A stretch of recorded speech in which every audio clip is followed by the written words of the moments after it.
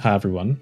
This is a 3rd to 4th century BC Ptolemaic period oil lamp found in the city of Thebes, Egypt. It's very cool. I love little artifacts like this. I also like learning about the creation process. Um, why are we talking about this? And why do I have it? Well, never mind the second question. There are so many interesting material details on objects like this. Objects with stories that hide their creation process. Things that, you know, I've been wondering for a while, can we take elements from them and use them for artistic effect? Like, can we take the data from objects like this and combine them with new procedural techniques to create new types of artistic materials. This is something people have done before in 3D space to different degrees. I have a technique I'd like to explain to you today, and in the process I'll kind of be explaining to you how I created this semi-procedural clay shader which can wrap around any object. It has lots of nice surface details, sourced from real-life imagery, but that imagery has been combined with procedural techniques, so generated textures, mathematics, inside of the shader editor in Blender, also combined with a Voronoi scattering method, meaning that the image sources we use for these materials don't have to be seamless. This is a callback to another video I did a while ago, I believe it was titled Create Amazing Materials from Simple Images in Blender. I have access to objects like this because of a project which I've mentioned on the second channel before called Project Provenance. At some point I would like to scan these into 3D space to make them available for people online, but before I get to doing that and before I get to creating new materials for people to use sourced from some of these artifacts, I need to make sure that I have a pretty good method down, which is why I've started with making a clay material, and this also ties in to a new product that I've been working on, which I mentioned in the last tutorial, which should be a collection of sculpt procedural materials. So if you're a sculpt artist and you want to have access to good materials that will make your objects look great immediately, then that's something I'm working on. So let me just put this away so I don't damage it. I've also got a couple of um, 19th century collection tickets for the uh, oil lamps. They came in a pair of two.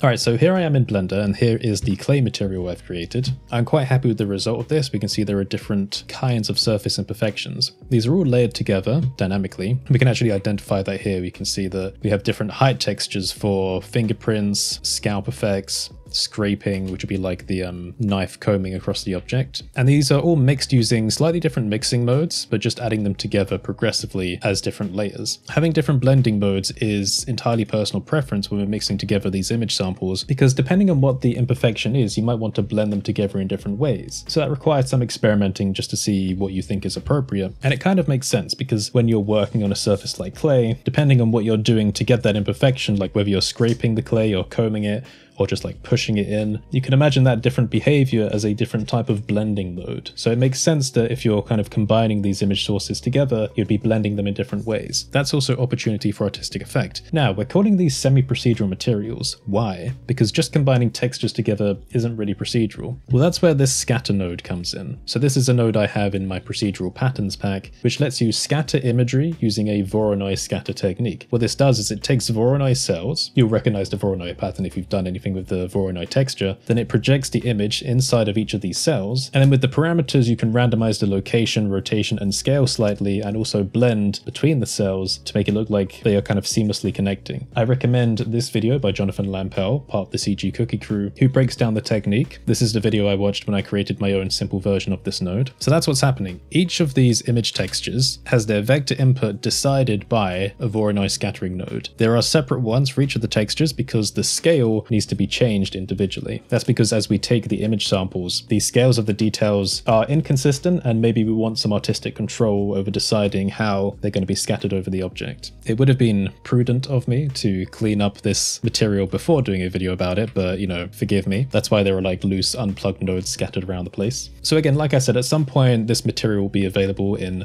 an upcoming product I'm making about sculpt materials. But let's take a look at what the outputs look like after they've been scattered. And we're going to move on to talking about how I created the image samples soon. So just stick around for a bit more and I'll explain that process. But before we do that, let's take a look at how the image samples actually look in Blender as they're being scattered. So this material largely relies on normal data, meaning that most of the surface imperfections are actually just coming from the normal input of the principled BSDF, meaning that we can give it any color, which you know is great for more artistic control. But I'm just going to reset this to something kind of grayscale for now. So let's take these image samples individually and see what they look like as as they're being scattered around. So this first image is a fingerprint one. So I created a fingerprint sample in the clay, took a picture of that, I then converted it to a height map. This conversion part of the process is not something you actually really need to do because you can actually just plug a basic RGB image in and use that as your height information, but it's going to be quite noisy and a bit scatterbrained, but that's a perfectly viable artistic method if you want to do it like that. But just to show you, plugging this into the color here, you can see what it looks like. Now, obviously this is strange because this is height information that's going to be plugged into the normal. If I actually unplug the normal, we can see that clearly. But you can see here how we have the fingerprint lines as they're scattered and blurred around. This kind of wavy noise pattern here is actually a symptom of the edge warping, which we can reduce and increase. It's just a way of making sure things feel less tiled and more seamless. In this case, it doesn't really make too much of a difference as we can see, and we can also blur the edges between the cells. This one in particular probably doesn't require much warping, but also if I kind of change the random values, you can see how the image is trying to be scattered between the cells. The next image sample converted to a height map is the scrape texture. So this one here, you can see it's like we've gotten a comb or a knife in this case and kind of scraped out information from the surface of the clay. Mixing them together, we get something like this so we can kind of choose between the fingerprint and the more scraped texture, and I chose a kind of balance somewhere in between. When using image samples like this in combination with Voronoi scattering, you want to make sure that the projection mode is set to box on the image texture, that's just something to keep in mind. The third height map I'm using here is a scalp one, so this one, quite different, it's a larger scale one, something that looks kind of more appropriate when we visualize it from the larger models. Again, you can play around with the values here, we don't necessarily need the edge warping going on. Let's just plug this in as the uh, height for now. What you can see when we're just visualizing it as normal data is that that scrape effect gives us these cutout areas here next to the fingerprints and the scrape lines. So I can reduce that with the mix node here set to darken. Notice at zero, we just have the fingerprints and scrapes. And as I add that, we get the scalp cutout lines. And again, using the parameters, you can blur that to kind of like null out the effect. So I like to keep it at a kind of balanced value of like 0.8 on the darken mode. That look pretty good. And we can see some other areas here, like how the clay's kind of been chiseled out of that shoulder. So a lot of this is just a matter of like balancing values because taking creative image samples from direct pictures like this can produce some quite unbalanced results. But I still think it's like a very creative method. It gives you a lot of freedom. You don't necessarily need to worry too much about like the setup. And then I have a second fingerprint height map. Let's just check this one out. Here you go. So this is like a larger scale fingerprint effect, kind of more obvious with its waves. And again, combining this all together, in the normal, we have quite a nice, complex, multi-layered imperfection for a clay material where we can again like adjust the presence of those different layers by adjusting the different mix sliders. So like I said, it's completely procedural, meaning we can rotate around any object and watch as the effect kind of wraps around. And because it's procedural, it means that we can adjust any value, modify them with like different kinds of math nodes or other generated textures to get new artistic results. Another thing I've done here at the bottom is I added some extra little uh, flecks, I guess you could call them, because when you're working with clay, when it's wet and if you're scraping, you can pick up little wet debris of the clay, which can then kind of like settle on the surface and it just looks like tiny pieces on the surface. So with a noise texture here, or alternatively a Voronoi if you want to make it more spotty, I've added these flecks zones where it kind of looks like wet clay has been picked up and then just randomly deposited back onto the surface again.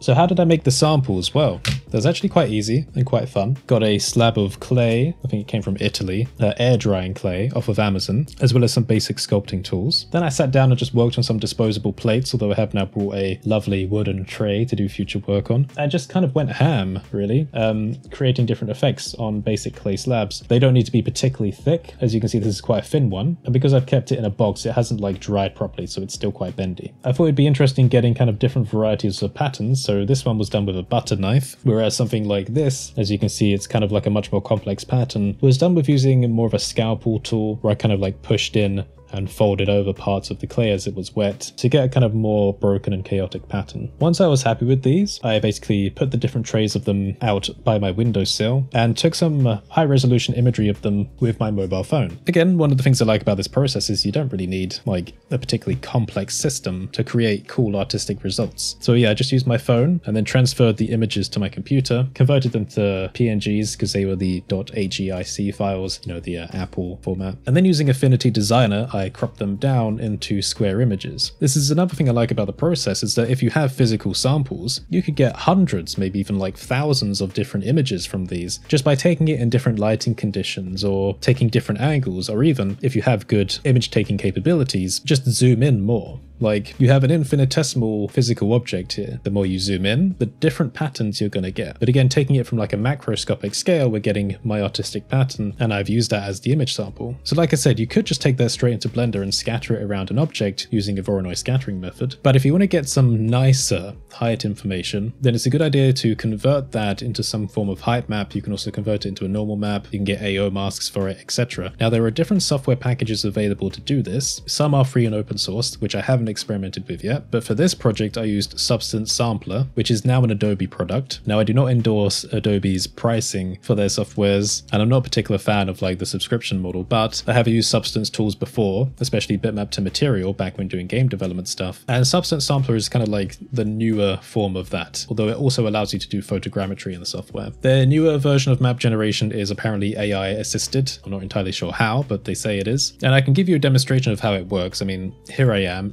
of Substance Sampler with one of the image samples from this particular slab here, but I might as well do this from the ground up again. So let me create a new project and I'm just going to drag in my image. From here, I'll get a variety of options because Substance is trying to interpret what I want to do with the image. So we'll do image to material, AI powered. You have the option of B2M, meaning bitmap to material, which is their old version. We don't want that. So let's import. And it's going to try and automatically calculate interesting maps from our image sample. Now, obviously, this is not a tiling texture. And for the Voronoi scattering in Blender, like we said, you don't actually need to have it tiling. But just to show you, in Substance, you can just make it tile. Again, let me go to the assets, fill filters and search for make it tile. If I just drag this above the image to material layer there, then it's just going to automatically make it seamless. Notice how it's done that for all of the maps at the same time, which is very handy. So now we just have a seamless texture slash material created from a cropped version of our sample. So that's great. We get all of these details and we can see all the different maps here on the right. If I click through them, this is what it's generated. From here, you can right click and save as bitmap. It doesn't just have to be a bitmap. You can choose any main image format. And that's basically how you can then take it to something like Blender. The height map in this case is the most interesting one for me because it's the one that we're going to substitute for a regular texture when uh, combining them together to make this normal information. Notice how the final result is plugged into the height input of the bump node. Now, I will say about the software, like I said, there are other alternatives available for generating maps like this. And also you don't have to get the Substance products on an Adobe subscription. You can you can get them on Steam on a perpetual license, which is what I've done. Basically on Steam, you can purchase the actual software and you get one year of updates I believe. So I have purchased Substance Sampler 2023. I like this method of purchasing it because it means that, you know, even when the updates stop, you still have the software available to you, the 2023 version. And I think that's fantastic. But there is also a free trial available on Adobe if you want to give it a try. But just keep in mind that it automatically signs you up for a subscription if you don't cancel the trial. And I believe that you lose access to the free trial if you cancel it. So if you do that, make a note to cancel it if you don't want to get automatically signed up into a subscription. Yes, that's a bit scummy, but you know, that's just how it is. But I wanted like a nice tool set again, like if I'm going to be taking samples from other items, I feel like it'd be nice doing this in a kind of professional way. Sampler is also quite an interesting software from what I've gathered, because there are loads and loads of filters you can use to kind of modify the visuals. For example, I like this one called Dust, which is about kind of simulating the accumulation of dust over time,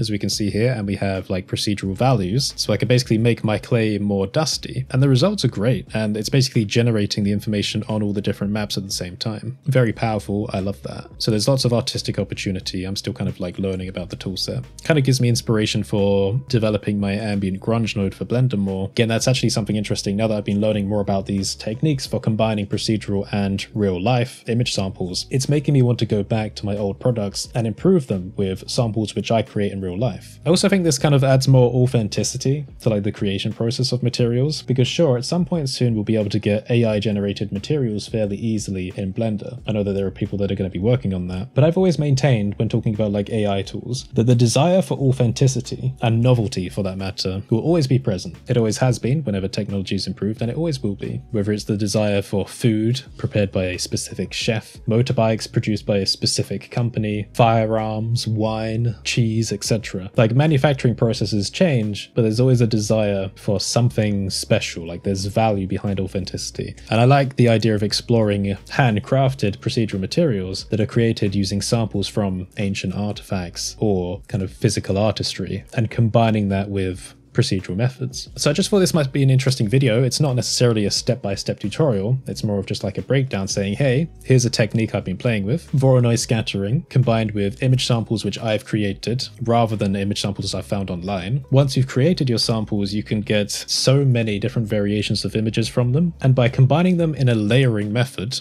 again, being quite considerate of different blending modes, you can get lots of different kinds of effects going. And again, if you watch my last tutorial relating to making procedural materials in Blender, you'll know that masks are like the key to everything. They basically allow you to tell Blender in the shader editor where to place pixels, where to change pixels. You can perform mathematical operations on masks, and creating interesting masks is like the cornerstone for procedural materials. With this method, what it allows you to do is sample more complex masks from real life, but use them to inform procedural processes. So for example, one thing we could do again, going back to that last tutorial, is take an ambient occlusion node and use it to restrict the location of where real life samples are placed. So for example, if we only wanted realistic scraping effects to be present on like higher curvature areas of a mesh, that's very easy to do just by combining these two elements. So yeah, hopefully you found it interesting. And if you made it this far through the video, then put some kind of cutlery related emoji in the comments, maybe like a knife and fork, because I was using a knife to like do some of the scraping effects. Also consider checking out my products on curtisholt.online slash store, including some of my procedural material products, such as modular metals. You may also like my modular workspaces add-on, which not only adds buttons to quick access the asset browser, but also gives you some interesting templates to help create some starter scenes with like good lighting templates, atmospherics, etc. I recommend you check out the announcement video for that. It also helps you to unpack collection assets if I go to my workspaces tab here. So if you create collections and mark them as assets, you can just drag in those collections, press the unpack button, and it will automatically organize all the objects, center them on the world zero, unpack them into collections in the outliner. So it's a really cool workflow tool to speed up your startup process. I have other resources and tools available for you as well, both free and paid. We do community projects such as the Community Material Pack, a collection of free materials, EasyBPY for helping you write Python scripts, and more. We've got all sorts of other projects. And if you like my work, you can check out my Patreon, patreon.com slash Curtis Holt. And of course, feel free to subscribe if you're new here. So yeah, have a fantastic day, happy blending, and I will see you next time.